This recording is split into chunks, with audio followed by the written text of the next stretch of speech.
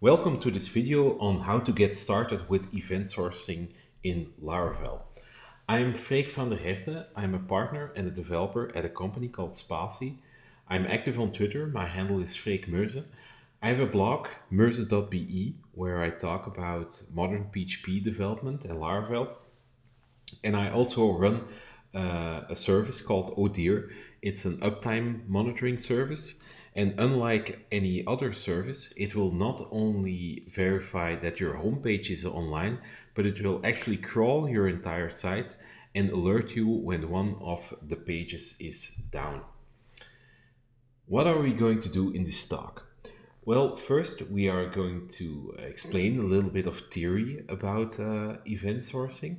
Then we are going to take a practical look at projectors. And after that, we are going to take a practical look at uh, aggregates. So let's first start with theory. So you've probably uh, created this kind of application, what I call the traditional application. Such an application just writes its data in the database, and when you want to update something, you're just going to overwrite the old data. This means that for your application that all data is gone. It cannot be accessed anymore. Let's take a look at how it uh, looks like in a, in a schema form. So your application writes things to data to a database. We have value x there. And when you want to update something, value y is written and value x is just gone. We don't know um, we don't know that value anymore. In an event sourced application, this works a little bit differently. The main logic of your application, it will not write to the to the database and, and its tables directly. Instead, it will fire off events. And those events, they will get written into a dedicated store, and probably that's just a table called stored events. And those stored events, they will uh, get passed to, uh, to consumers and a certain kind of a consumer is, is a projector and it tra will transform those events to a format that is usable for the rest uh, of your application. So this is what it looks like in schema form. So our application wants to do something, it sends out an event. We are going to write uh, that event into the database. Of course, when new events come, come in, we are going to write those events as well. Those events, they will uh, get passed to a consumer. And so one type of consumer is a projector. It will transform those events uh, to uh, a format that is useful for your application. And we call that a projection. Of course, we can have multiple uh, consumers that can uh, each create their own uh, projection. And when new events uh, come, come in, the projectors don't need to go through all the events again. They just need to handle the latest event and just update uh, their projection, projections with it. So an event sourced application is very good uh, for when uh, you have auditing requirements. So when it's very important uh, to know that how uh, the state of an application got in that uh, that way. Um, event sourcing is also good for um, applications uh, that need a lot of reports where you want to be able to create reports after the fact. So imagine that your event sourced application is already running for a while and you've collected a lot of events from the past. Well, you can uh, use those past events to make new reports that you uh, didn't know you were going to need when you um, recorded the, uh, the old events. Event sourcing is also very good to uh, for applications that want to do something when, with the unhappy part. Most applications are going to uh, just record when, when something was successful but in event sourcing, you can actually do stuff when things were not successful. Uh, imagine that um, a user yeah, hits an error a few times in a row, then you can see hey, this uh, error happened three times in a row. Uh, I'm going to do to perform a special action uh, now. Um, for event sourcing, there is some extra uh, setup required, so your application will uh, become a little bit more complex. But if you want to solve complex problems, event sourcing will actually make the, the solution a little bit easier. So that's a lot of theory. Um, let's just see how we can um, turn this theory into practice. So I've created a, a package uh, together with my team called uh, Laravel Event Projector. So it's uh, created uh, by the Spatie team and it offers you aggregates, projectors, and reactors. And we are going to uh, take, uh, we are going to go over those concepts one by one in in the demo applications.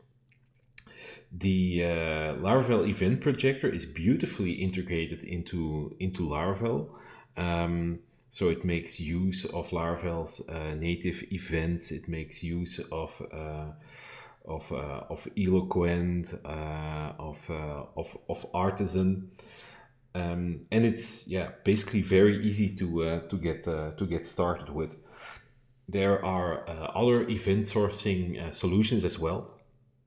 They are framework agnostic, and they certainly have their place as well but it can be uh, a little bit daunting to, to use them for the first time.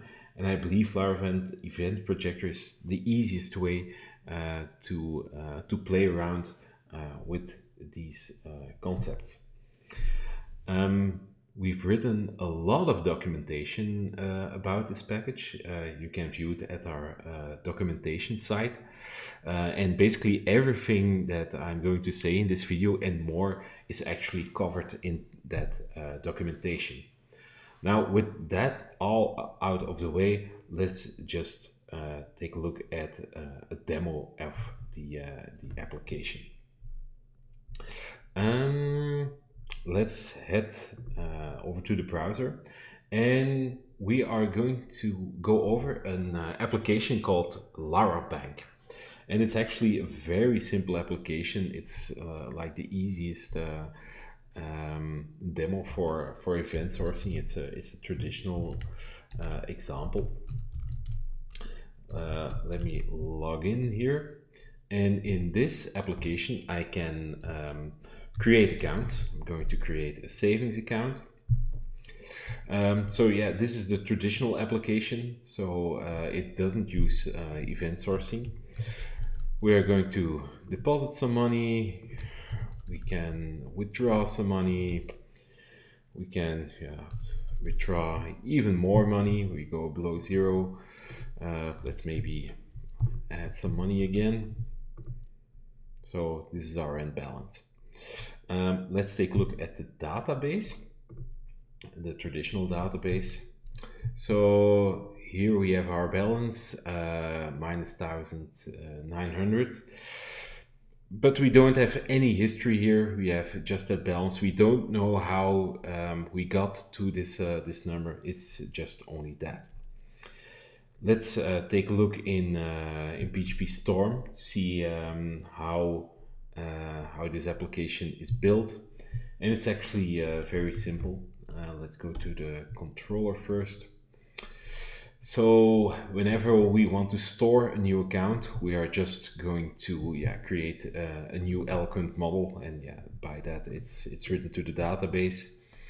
And when we want to update an account, when we want to add some money or subtract some money, um, we are going to call uh, a function on uh, on the account called add money and subtract money. And inside that function, we are just going to uh, increase or decrease the balance, just save the record, and uh, and that's it. So you've probably done this uh, uh, lots of times. It's a it's a very simple application. Okay, let's head back to the browser and take a look at uh, take a look at the same application, but this one is built with our event projector package. So let me log in first. Uh, it's user at larabank.com. The password is secret, I guess. Yes, secret. Um, let's create another uh, account, so our savings account, and let's do the same thing. Just add some money, uh, withdraw some money, maybe go below zero. A lot. and let's uh, let's be lucky and uh, receive a lot of money as well, and we're above uh, zero again. Let's take a look at the database of uh, the event projector. Um, if I take a look at the accounts table, you can see that we have that, uh, that balance here, but uh, we also have a stored events table here. And you can see that it actually contains, um, let me reorder that again, um, that it uh, contains the entire history of what we've done. So we've created an account, we add some money, we subtract some money, and then yeah, we got a lot of uh, money added to our account. So we have our entire history here as well. Let's take a look at how this was recorded uh, using our package and how our package um, recalculated uh, that balance here let's go to uh, PHP Storm Uh, or I have it, open here, I guess. It's the event projector one. And let's go to the controller, the accounts controller here. Am I Right. Um, not transaction count, it's accounts control, this one. Yeah. Okay, so what are we going to do when we store, uh, when we want to store an account? Well, this time we're not going to create the account directly, but we have a custom function here called create with attributes. And inside that one, let me hide this, uh, at its heart, we are going to fire off an event called account created. And that account created event is actually quite simple. It has two properties, uh, UID, we're going to review in a bit why we need the UID, and the attributes of the account we want to create.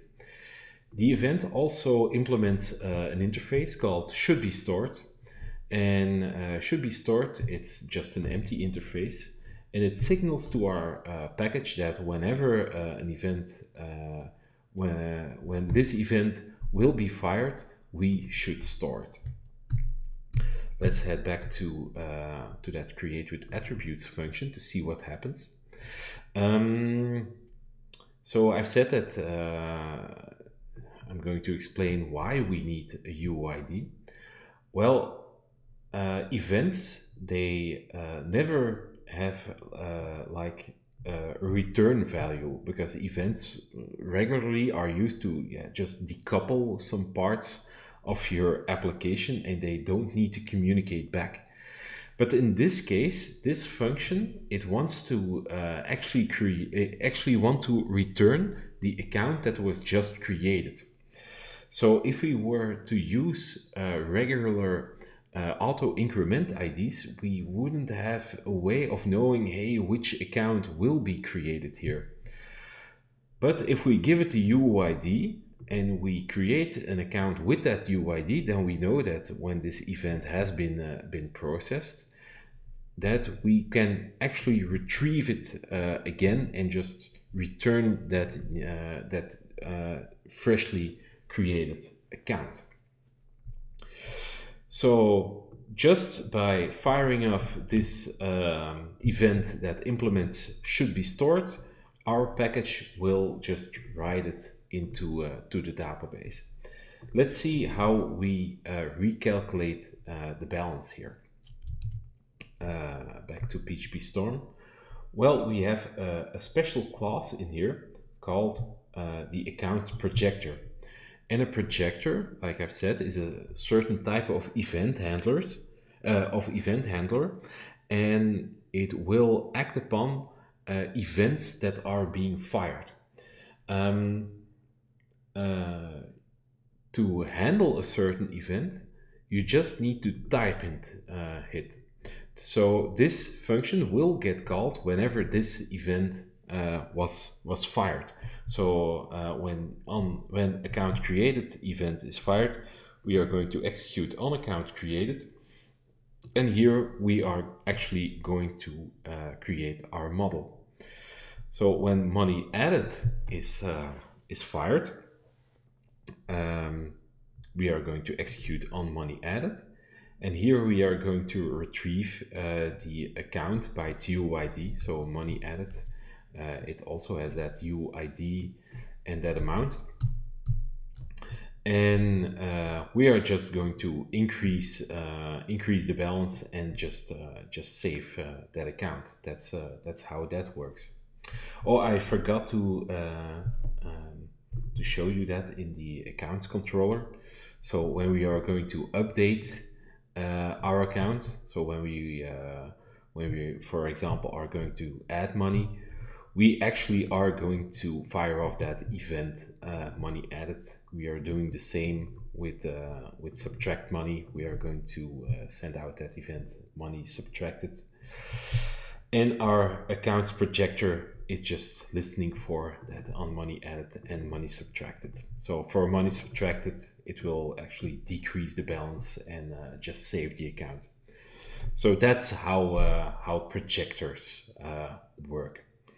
Um, for the next part of the demo, I need a little bit more data. So I've actually created uh, uh, a seeder that will see a lot of accounts.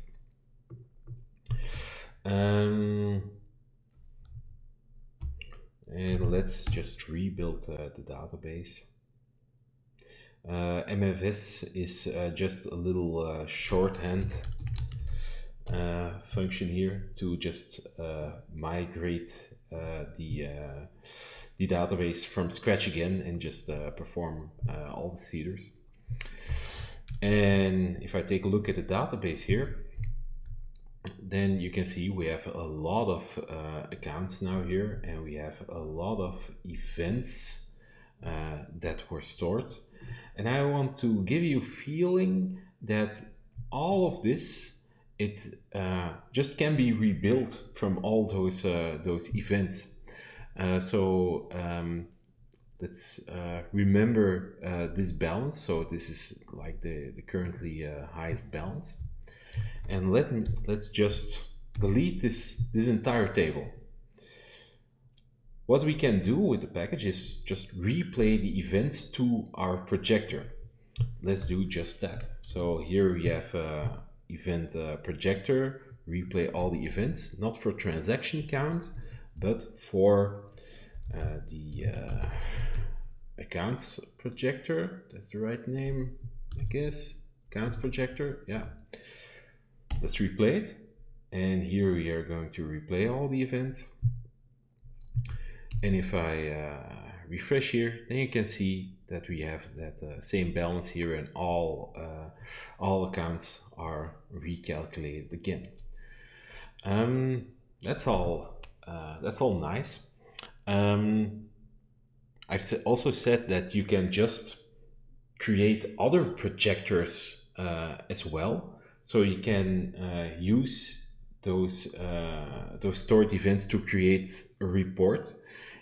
Imagine that for our bank, our director now wants to know, hey, which uh, accounts uh, have the most transactions? And if you had a traditional application and you didn't notice, uh, you you didn't record uh, this information, yeah, then you you you probably say to your director, okay, I'll do it for now. I can't do it for the past, but I'll start just now with it. But if you've actually um, uh, recorded all those events, then you can create that transaction count report for the past uh, as well. So let's ju just do that. Um, I have my accounts projector here, but I have also a transaction count projector. And I've put it into uh, into comments because I didn't want uh, our our package to be able to see this uh, this projector yet, because um, our package it actually will try to detect all your projectors in your application. You don't need to register them just by the mere fact that uh, that it exists. Uh, our projector will uh, uh pick up on it. So this projector, it will also do some work. It will listen for the money added and the money subtracted events. And when uh, one of those events comes in, it will record uh, the transaction count. And that's uh, actually just yeah creating a transaction count for for for the the user, and it will uh, just increment that that by one. So these transaction counts they are not per account; they are per per user. Um, okay. Let's go to the database and go to the transaction uh, counts uh, table. Um, and it's empty right now. So let's replay all the events for the uh, transaction uh, count projector. So uh, let me take a look. Transaction count projector. Yeah. So transaction count projector. And let's replay them. There they go. And here we have our transaction counts. And my first user, it has the, the most transactions. Um, now, the cool thing is, is that you can use this information, information to, um, uh, to display it in your application as well. So I have also here transaction um, uh, view where I just um, display this information. And if you think of it, this is actually quite cool to display this, this information. We don't need to perform like uh, uh, uh, an advanced query or something. Um, we can actually just use our pre-calculated uh, uh, values here to, to, to display them. So it's if you want to create a certain a certain view. You can also create uh, a projector that goes with it and just let that projector prepare the exact data that is needed for that view. So actually reading information is very easy. Um, that's uh, you, you hear that a lot with event sourcing that in event sourcing writes are uh, a little bit um, expensive because you need to write it to, ev- to the events table first and then you can go further but the reads are actually very uh, very cheap because you can just transform it to a format that uh, that your views need so if i take a look at the um, transaction controller we can just yeah fetch the data from uh, from the database we don't need to uh, do a summation or a grouping here. We just prepared it in the format that uh, that we just uh, just want. Um, I should also say I've replayed all the events now, so we have this information, but uh, not transactions. Uh, what was I doing? I needed to copy the entirely and go to accounts so now that the, these projectors are, uh, are up to date, they can handle new events as well. So if we uh, add another transaction here, the projection it will be it will be updated uh, it will be updated as well. So that's uh, that's kind of neat. Um, I should also say, and maybe if you have keen eyes, you've noticed this, that we have two kinds of, uh, of projectors. We have the regular uh, projector, which uh, will do its work whenever an event is being fired. It will uh, that event will go to the projector immediately, the same requests, and will perform the work.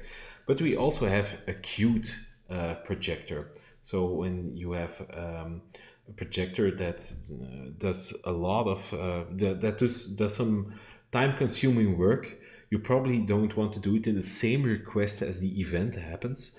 Our package will actually uh, fire off a job uh, for that event and call all the queued projectors from, from a queue. Um, let's see, what's uh, another thing I need to cover here? Oh yeah, reactors. Um, reactors are classes that, uh, uh, that handle side effects. So they're a little bit the same as, as projectors as they, uh, they act upon uh, events, but they only receive the event uh, when it originally occurred. When you're replaying events, they will never get sent to a reactor. Uh, a thing that you could do in a reactor, for instance, is uh, to send a mail. And in this example, we are going to send the director of the FBI a mail whenever big transactions uh, come in. And we probably only want to um, uh, mail the director when the event actually originally happened and not when we are going to re replay it because replaying will probably be done when the event uh, has, uh, has, has, has occurred in the past. So we don't want to have like uh, uh, when we replay this three or four times, for some reason we don't want to send uh, four or five mails to uh, to the director. Director should only get a mail when the uh, original event happens. Um, so I think that is all I wanted to say. I think about uh, about projectors. So I hope you have a good idea uh, about how they uh, about how they work now. Um, yeah, let's just uh, continue with another concept called aggregates. Aggregates are a little bit uh, of a difficult uh, concept. They're they're extremely powerful and useful. And uh, when I was uh, learning event sourcing or, or this this the aggregate about aggregates for the first time, it took some time to to wrap my my head around it. But I'm going to uh, try to explain it to you so you immediately know uh, what uh, what aggregates do. So uh, aggregates are used to uh, to model processes. So I know that sounds a little bit abstract, so let's uh, model a little process. Um, in this application, it's also the LaraBank application, we are going to try to model uh, two rules. The first rule is that an account may not go below uh, $5,000. Uh, uh and the second rule is whenever a user hits that limit three times in a row, um, then we should send that user a mail with a loan proposal because that user probably is desperate uh, for more money. Um, okay, let's dive into the to the example. So imagine that our user uh, wants to subtract thousand dollars. So what is going to happen first is that our aggregate root is going to be reconstituted from all the previous events. And right now we don't have uh, any events here. Now, why do we want to reconstitute all the previous events? Because we want to uh, we want to make a decision based on what happens in what happened in in the past. Um, right now nothing nothing is has happened yet that's why this is empty and our stored events are empty so our aggregate root it concludes hey uh, this application uh, or the user wanted to uh, subtract thousand dollars i'm going to record the event that money uh, was uh, was subtracted and um, just uh, just by recording that event here in the aggregate root doesn't mean it, uh, it is written in the database just yet. It will get written in the database when that aggregate root is persisted again. So when it's persisted, we will actually write it into uh, the database. We make use of UIDs here as well. So for this account, we use uh, this UID, which isn't uh, exactly random, I guess. Newly uh, persist, uh, newly uh, recorded events that are persisted, they also will get passed to the consuming classes. And like we've seen in the previous in the previous part of, of the demo, a certain type of consumer is a projector that can just store the account for us. So let's now hit that, uh, that limit.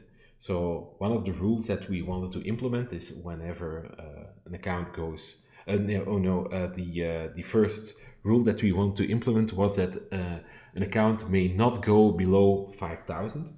So we are going to try to subtract uh, 4,800 um, and that isn't allowed because yeah uh, we already were at uh, at minus 1000 um, how is the what, what is going to happen? So our user wants to do that.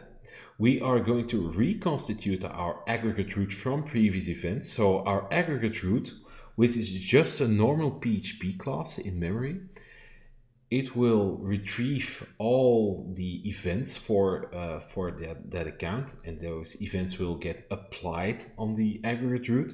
So we are going to apply the old event called money subtracted and internally our aggregate root can uh, have like an instance variable where it just calculates uh, that balance for now uh, it's minus 1000 and it can calculate hey I'm at minus 1000 right now if I if I would uh, subtract uh, this now, I would go below 5000. So I'm not going to record an event that money subtracted. I'm going to record another event. I'm going to record that the limit was hit.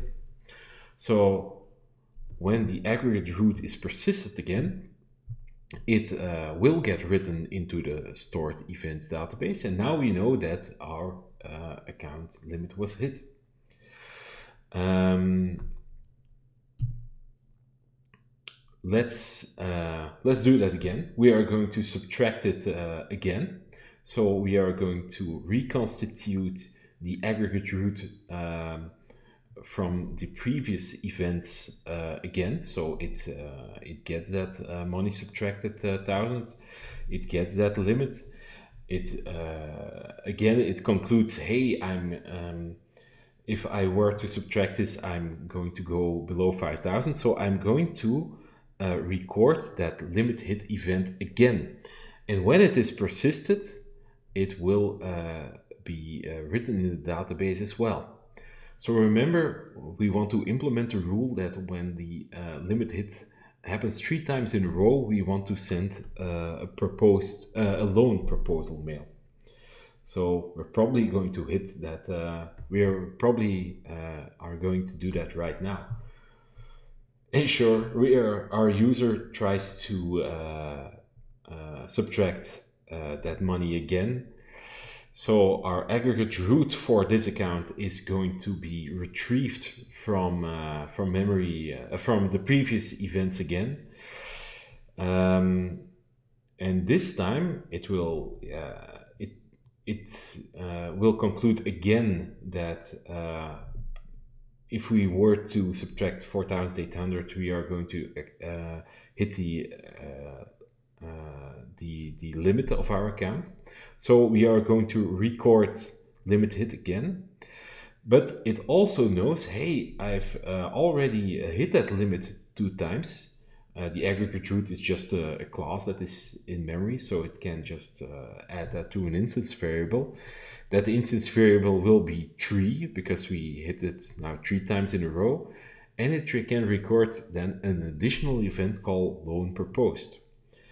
Whenever our aggregate root is persisted uh, again, all the newly recorded events will get um, uh, will get sent to all the event handlers. So we can have our account projector. It doesn't need to do anything because it doesn't listen for those events. But we have like a reactor here that listens for that loan proposed event and it will actually send a mail to, uh, to propose loan. So that's how an aggregate root can be used to implement business rules.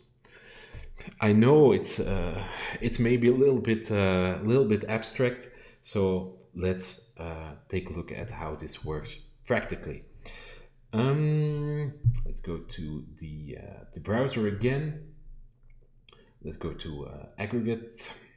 So this is uh, the same Larabank application, but this time um, yeah, we've implemented those uh, those extra rules using aggregates. So let's uh, log in again. So we have here user at larabank.com. My password is, you could have guessed it, secret. Log in. And here we can uh, create uh, another account, my savings account. Um, I'm going to add some money but after that uh, after that i'm not terribly good at saving so i'm going to withdraw some money. And here we are going to go below uh, 5000 so if i want to withdraw this the application won't let me. I cannot go below 5000 uh, i'm going to try that again still i cannot go uh, below 5000 so if I try to hit it uh, again, then I've hit the limit three times in a row and the application should send a mail. Uh, now let's go to uh, Telescope uh, where we can monitor mails that are being sent. And right now we haven't sent any mail. But if I try this again, so I've now hit the, the limit three times, with any luck, a mail should be sent, and sure enough, here it is, the loan proposed mail is being sent. Let's take a look at how this is implemented in, uh, in code. Uh, let's go to PHP Storm. Uh, where's my application? So event projector, we don't need this one again. Here's the aggregates. And let's start again in the, uh, the controller. So here are functions to store the account and to update uh, the account. And um, you can see uh, that we use our aggregate uh, root here again. Um, let's see, how are we going to start this example? Um, maybe we'll just uh, go to those uh, uh, those true subtract money again. Yeah. Okay, so we have our account aggregate root here, and we are going to retrieve it um, for a certain UID. And by retrieving it, uh, all previous events will be applied upon it.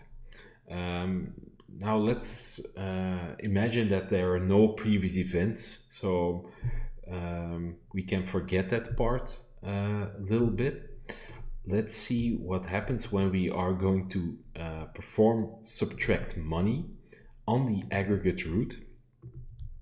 Uh, so let's go inside it. And here we have that subtract uh, money uh, function and imagine that yeah we have sufficient funds because yeah we haven't uh, we haven't done anything. We are going to record a certain event called money subtracted. And here if i take a look at that event it just contains the amount. It doesn't contain the uid anymore. Why is that?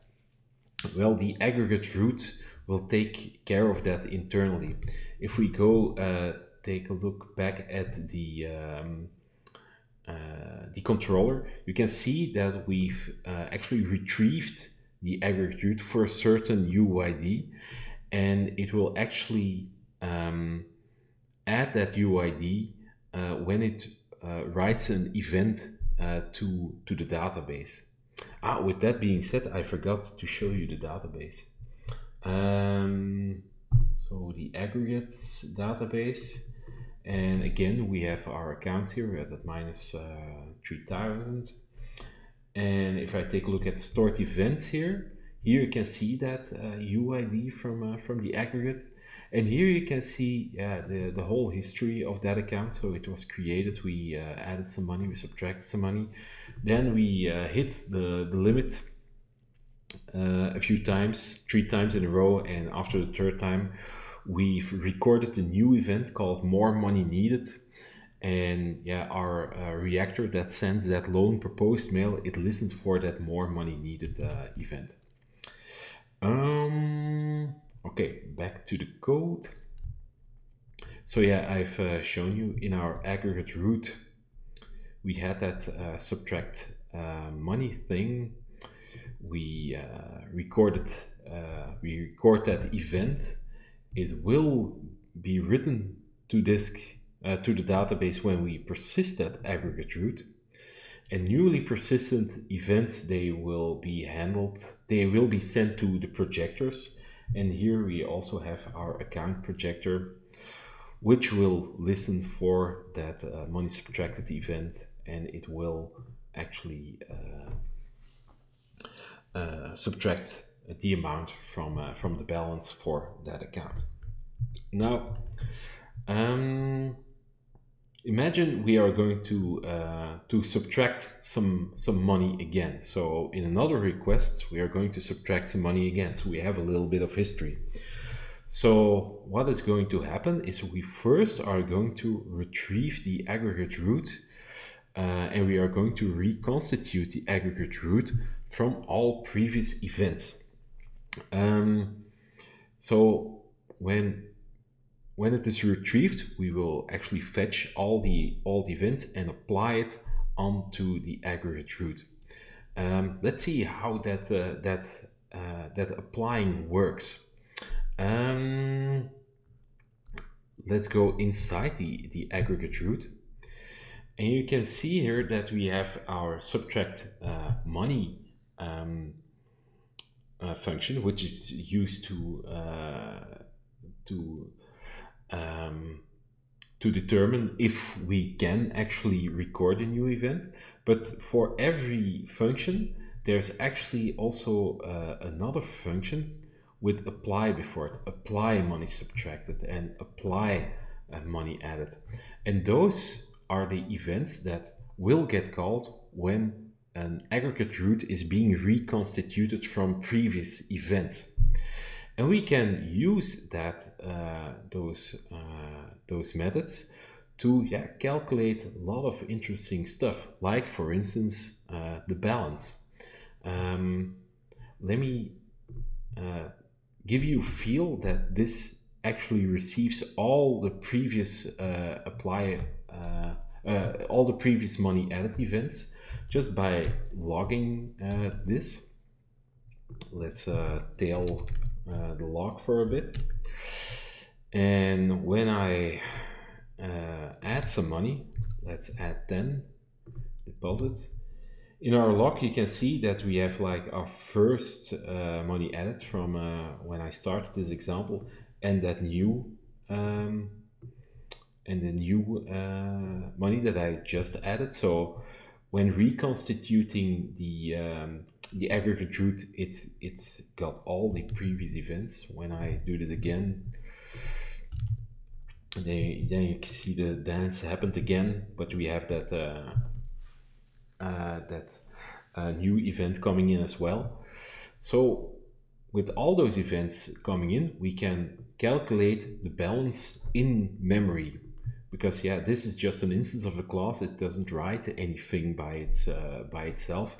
Um, and if I go to money subtracted here, then um, we can actually yeah, uh, subtract the amount of the event from the balance.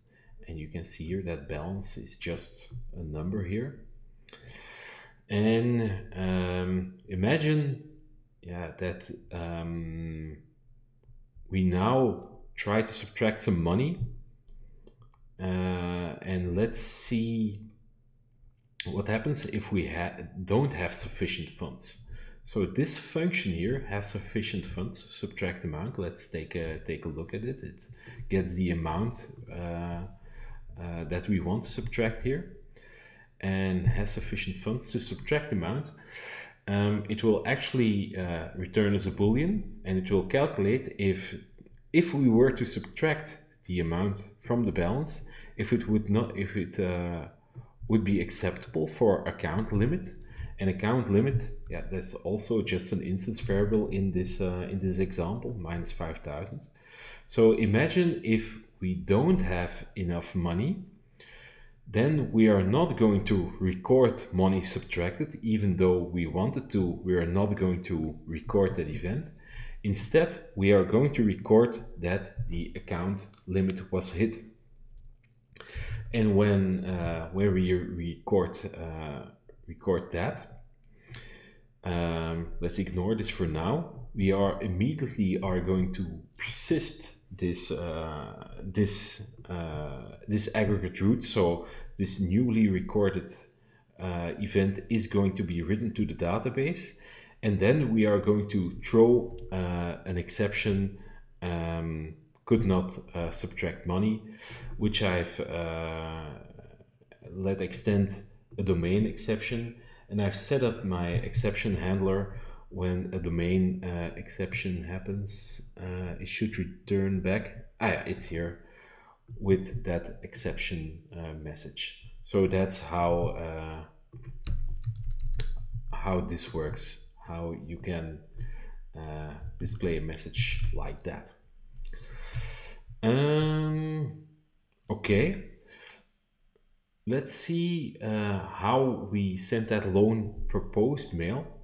So um, I've uh, already said a few times that when an um, an aggregate root is being retrieved, it will be reconstituted from all previous events and they will get applied upon the aggregate root.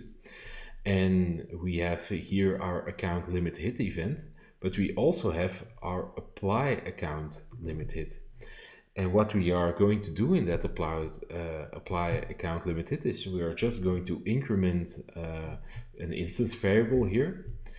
And this function here this needs more money. It will ju just check if that um, account limit hit is uh, uh is 3 or higher than that.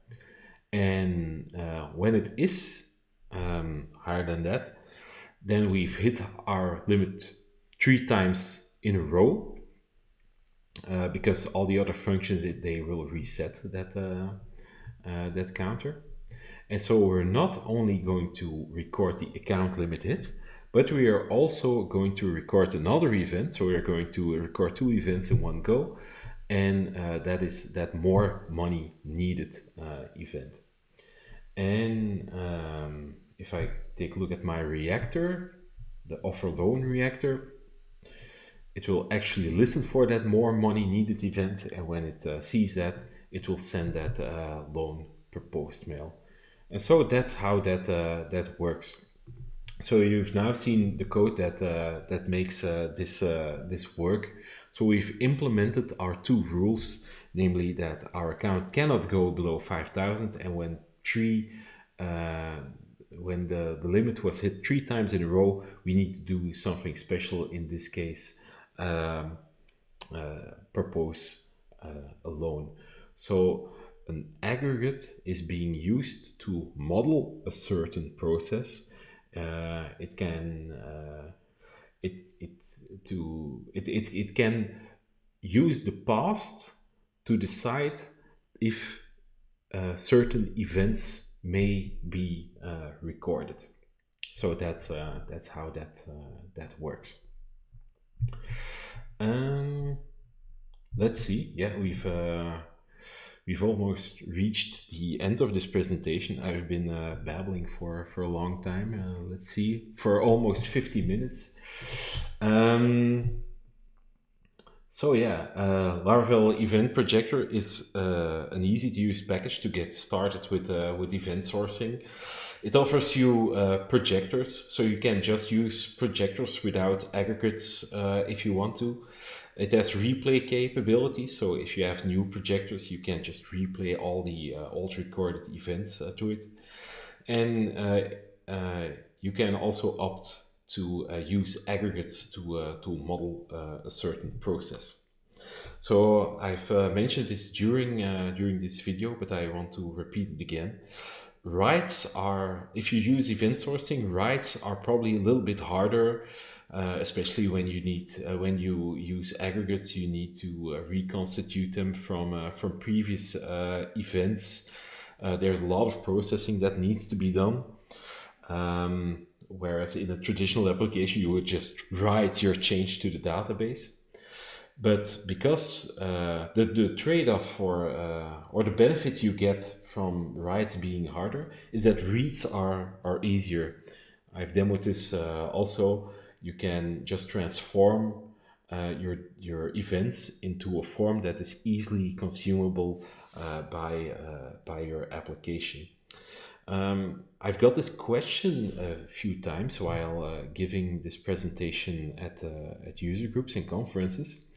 Is um, if you take a look at the database, we're all uh, every time we need to we want to write something we are going to retrieve uh, all the the past events of a certain uh, aggregate of a certain account in this case from the database isn't that uh, not that bad for performance well actually if you have like a couple of thousand of events it doesn't really matter because for a database, it's very easy to get uh, the records because yeah, it just fetches them by uh, by by a fixed value by a UID. So this is what a database is good at. Uh, it can just grab the the right records, and the the aggregate we've uh, we've also uh, also seen this. The aggregate is just a, a class in in memory. There's nothing being persisted here, so um, those events they get um, they get applied uh, very very fast. So if you for for even a couple of thousand of events, you probably won't run into uh, into any into any problems. Um, now, should you have should you have lots of events for a certain aggregate root, there's a, a technique called snapshotting. And snapshotting is basically a way to uh, summarize um, uh, summarize uh, some some events. So you can just apply the snapshot instead of all the uh, the past uh, past events. It's a little bit of an advanced subject. Um, that I don't have uh, time to to explain now because we're almost at an hour here. But if you want to, uh, if you're worried about performance, if you expect that if you use aggregates, I will have like tens of thousands of hundreds of thousands of events, go uh, research uh, snapshots. Uh, back to the presentation here. Uh, those Larabank uh, examples that I've shown you, I've also open sourced them. You can find them in these uh, repos. I've also created um, an example for EventSauce. Event Sauce is um, an event sourcing package created by uh, Frank de Jonge, who also gave you the gift of, uh, of Flysystem. Um, EventSauce is maybe a little bit harder to uh, uh, to get uh, to get started with. Um, but it is framework agnostic. So if you want to have a framework agnostic uh, solution, uh, go check out EventSauce. It's uh, it's also an amazing uh, uh, package. Um, so we have uh, Laravel Event Projector. Um, that makes it very easy to get started with event sourcing. We have EventSauce, which is the framework agnostic solution, and there's also a Prooph which is like the uh, I think the enterprise grade uh, solution. Uh, I've heard from people that are familiar with event sourcing that it's actually very good, but uh, a bit daunting to to uh, to get started with. I personally can't tell you anything about it because I don't have experience uh, with this yet. So yeah, thank you for um, viewing uh, viewing this uh, this video. Um, Laravel Event Projector is certainly not the first package that our team has made. We've actually created a bunch of uh, packages. Uh, go check them out on our uh, company uh, website. Um, I'm pretty sure there will be something there for you for a future project. So, thank you for listening. Bye bye.